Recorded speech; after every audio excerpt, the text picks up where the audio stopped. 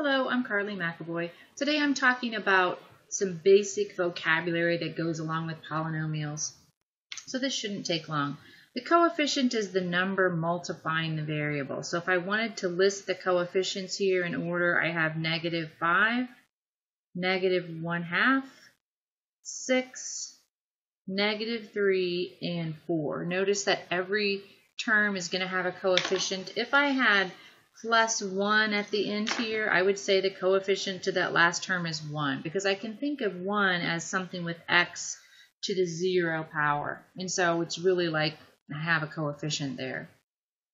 If I didn't see anything at all, like if I had just x, my coefficient would also be 1 for that, right? Because I would assume there was imaginary 1 in front. So the coefficients are the number multiplying the variables. The degree is the power of each term. So if I list the powers here, the degree of this power is 2, meaning this term. The degree of this term is 0. This is like this. I should have noticed that I already have one of those in there. There's no x's here, so it's a 0 degree term. The zero degree, whoops, the degree of this one is 5. The degree of this one is 1, and the degree of this one is 3. So I can list the degrees just by looking at the power of the variable.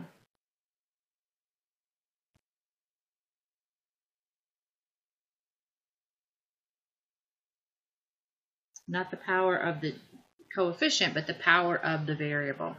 Descending order means from the highest power to the lowest power. Our highest power is this term, 6x to the fifth. Next highest was 3 plus 4x to the third. Notice when I write in descending order, I include the signs in between.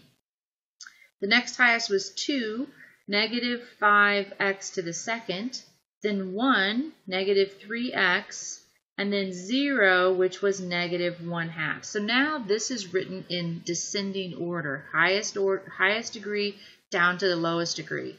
Once you have something in the descending order, you can see what the lead term was going to be. The lead term is the term with the highest power.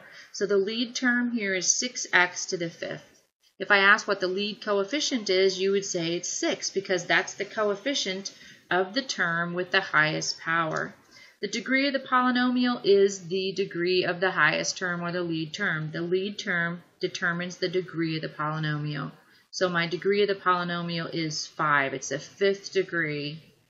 We would say it's a fifth degree polynomial. Terms are separated by addition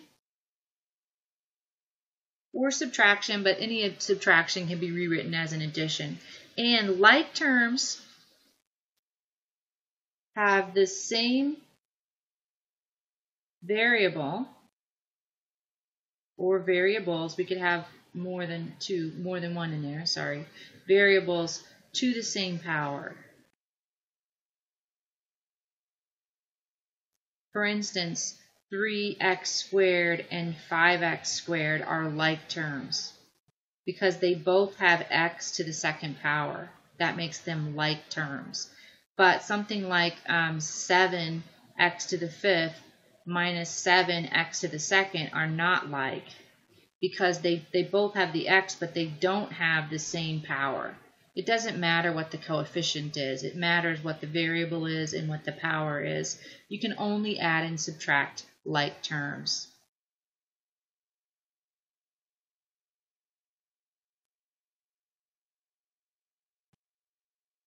And that's an important thing to remember. If they're not like terms, you can't combine them. All right, that's it. Have a great day.